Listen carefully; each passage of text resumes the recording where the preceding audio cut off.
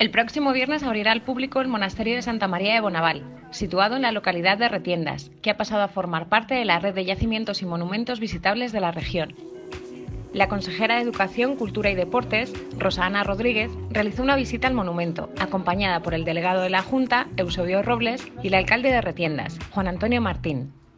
Este monasterio eh, se incorpora hoy a la red de yacimientos y monasterios visitables. A partir del viernes será una visita obligada para todos los castellano-manchegos, las castellano-manchegas y todo aquel que quiera venir a conocer esta parte de Guadalajara y este, este entorno patrimonial. Y por supuesto también ha de ser, ya te digo, una oportunidad turística importante. Se convierten ahora en una oportunidad para los pueblos pequeños, estados pueblos que adolecen de, ingresos económicos en muchos casos y que han de sentar la población, quizás sea una manera de poder asentar la población en estos entornos rurales.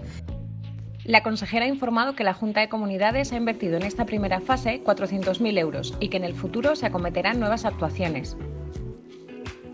Para los pueblos pequeños como, son, como somos nosotros, que tenemos una, infraestructura pequeñita y un poquito eh, como decirte, escasa, que sirva para que con el turismo pues, podamos crecer El monasterio de Bonaval se encuentra en el término municipal de Retiendas y fue fundado por Alfonso VIII, rey de Castilla, en 1164, en el periodo de transición del románico al gótico.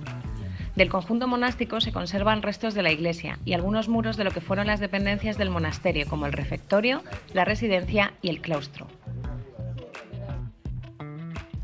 El monumento se puede visitar los viernes de 2 a 6 de la tarde, los sábados de 10 a 6 y los domingos de 10 a 2.